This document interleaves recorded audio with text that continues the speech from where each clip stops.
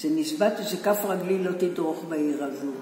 מה זה, ישנתי הרי, את יודעת מה זה לישון? היה קר, לא היו לי חלונות, ולא היה לי שום דבר, והייתי כאילו סוגרת את החלון, אבל לא היו זכוכיות שם בכלל.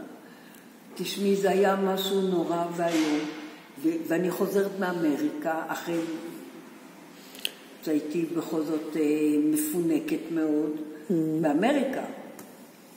ואני חוזרת ושולחים אותי ישר לנגב, לבאר שבע, שאין חשמל ואין חלונות ואין אני יודעת מה ואין כלום. אז תקופה מסוימת הייתי עריקה. והיה לי קר, ואני חושבת שאני מתה בעיר הזו. אני ברחתי. וטוב, בכלל לא, כנראה שלא הייתי רשומה בכלל בצבא.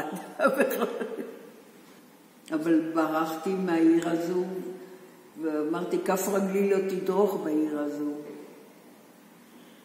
כף רגלי. ועכשיו אני אוהבת את באר שבע.